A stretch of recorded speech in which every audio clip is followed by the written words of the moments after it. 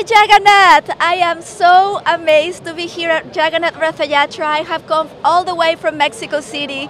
We are devotees of Lord Krishna. I actually spend a lot of time in India, in Vrindavan, and I am extremely fortunate and blessed to be here to see Lord Jagannath. And we can hear in the distance the, they're playing drums, and the Lord is coming right now. I'm just so overcome with devotion and emotion, and it's extremely overwhelming to be here in the midst of so much devotion, so much love, a river of love.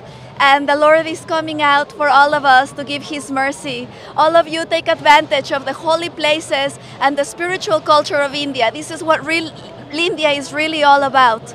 And this is the most important in life to be able to have this opportunity for developing love of God and glorifying Jai Jagannath.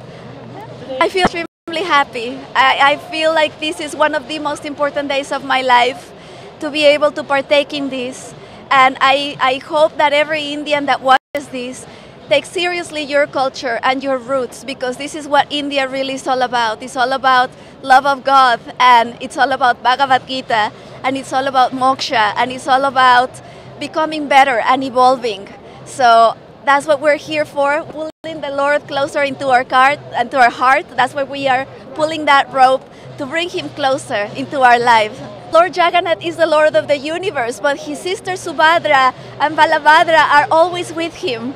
You know, this is very beautiful. God is a family man, and his sister and his brother are enjoying this parade with him to bless the whole humanity, the whole universe. And Lord Balaram, he gives us strength and Mother Subhadra, she imbues our heart with love.